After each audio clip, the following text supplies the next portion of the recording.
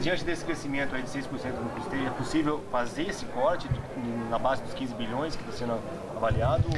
O nosso pessoal está preparando, inclusive, informações a respeito disso. O nosso custeio, a nossa folha de pagamento está sob controle, a previdência sob controle, que são os grandes gastos do governo federal.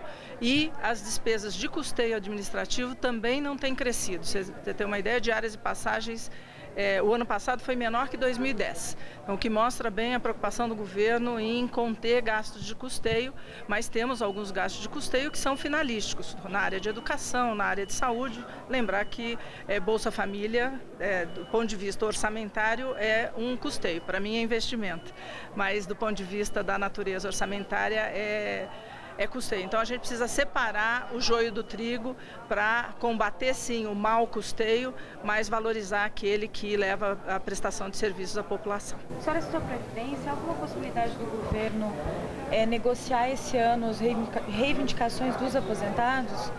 fim fator, desaposentação, reajuste acima da inflação?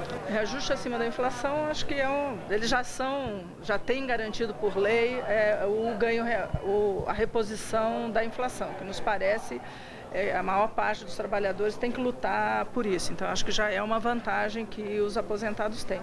As outras questões estão no Congresso, estamos dialogando com isso. É, é uma das questões que eu acredito que esteja na pauta durante o próximo semestre. O governo não recebeu eles para negociar ainda. Isso pode acontecer esse ano?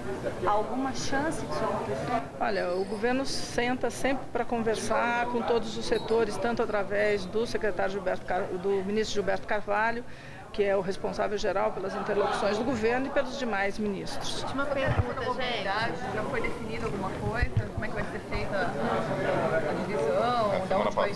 Então, nós recebemos é, de segunda a quarta da semana passada oito, os oito estados que têm as maiores regiões metropolitanas do país. Eles apresentaram algumas demandas, nós solicitamos algumas informações adicionais para que possamos é, fazer uma definição de quais empreendimentos poderão ser selecionados, sabendo que, por serem muito, muito complexos, uma parte desses empreendimentos tem condição de começar é, num prazo mais curto e outros que dependem de execução de projetos, que são projetos estruturantes, especialmente os, é, os de, é, sobre trilhos, que é, se selecionados ainda terão um, um tempo até começarem a ser executados.